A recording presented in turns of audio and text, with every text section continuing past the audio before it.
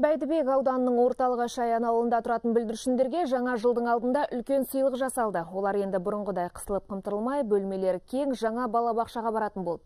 Елбасы биылғы жолдауында балабақшамен қамту деңгейін арттыруды тапсырып, оған көп қаржы бөлінетінін атап айтқан болатын.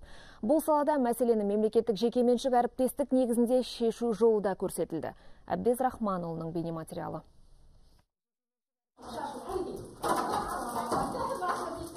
Тоғыз мыңнан астам тұрғыны бар шаянда бұл үшінші балабақша ерекшелігі біріншіден бөбекжай бір жастан асқан бүлдіршіндерді де қабылдай береді. Екіншіден оны мемлекеттік жекеменшік әріптестік негізде осы ауылдың кәсіпкері салды.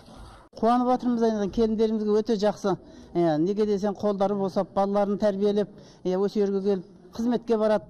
Ә, жаңағы балалар осы жерден кішкене ә, барлығы бірге ойнап жүріп тәрбие алдық білім алдық жақсы ойнап сол жерден мектепке бардық деп қуанатындай балалар өсе берсін.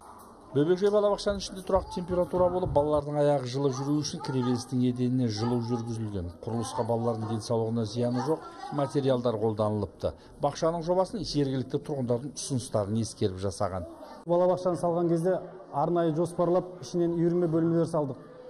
Үйірме бөлмелердің бізге пайдасы ол жерде арнайы ойыншықтар алдық. Оған балдар ертең сабаққа барғанда мектепке барғанда дайындалып сол жерден жетіліп ой өрісі дамып шығады. Ыдыстарды жинаймыз үлкендерді сыйлаймыз. Ыдыс келсе бәрін де өз орнына қоямыз. Апа мен айым шәйнекте шайым. Егер апам алса не болады жайым? Шаянда бүгінгі күні бар екі балабақшада да орын тола.